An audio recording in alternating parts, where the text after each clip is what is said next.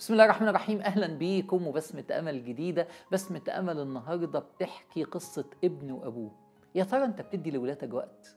يعني أنت عندك وقت تديه لولادك ولا أنت فاهم إن العلاقة بينك وبين ولادك علاقة فلوس؟ أنا بديكوا فلوس وامكم تربيكوا. لا أنت ولادك محتاجين لك محتاجين وقت منك. ولا أنت علاقتك بولادك علاقة أوامر؟ ذاكر اشرب نام أوامر. دي دي شؤون إدارية. دي مش دي مش علاقة تربية. دي مش علاقة حب. قصة النهارده قصة بتحكي إن ولد أبوه مش فاضيله خالص ما عندوش وقت ليه خالص خالص. أصل أبوه وقته غالي وبيشتغل والشغلانة بتاعته بتحتاج إن هو يبقى على طول on call مع الشغل ليل ونهار. الولد هيموت نفسه يقعد مع أبوه عايز يحس إن هو له أب في الحياة. فراح لأبوه وقال له بابا أنت أنت بتشتغل كام ساعة في اليوم؟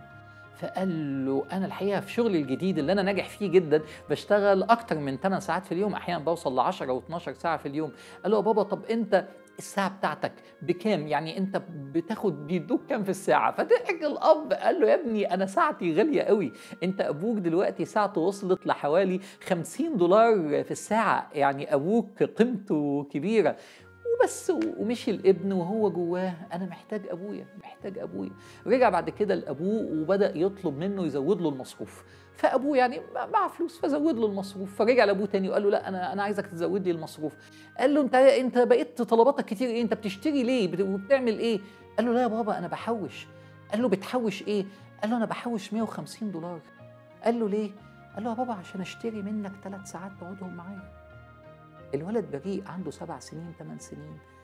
فكر إن الحل الوحيد عشان ياخد أبوه إذا كان شفت المادية لما بيبقى الولد شايفها في أبوه أبوك ابويا كل اللي بيحركه الفلوس والمادة. هو مش فاهم كده هو سبع سنين بس هو حس بكده. يا بابا أنا بقيت أزود مصروفي عشان أحوش 150 جنيه دولار عشان أديهم لك عشان تديني ثلاث ساعات. أنا هشتري منك وقت إذا كان وقتك غالي كده. ما تحوجش ابنك إنه يقول لك كده. بلاش يقول لك كده. ما تحوجش ابنك إنه يفكر كده. ابنك محتاج حضنك قبل ما يحتاج فلوسك. بسمة أمل لكل أب يدي وقت لولاده يشعرهم بالحنان والعطف والحب. شكرا والسلام عليكم ورحمة الله.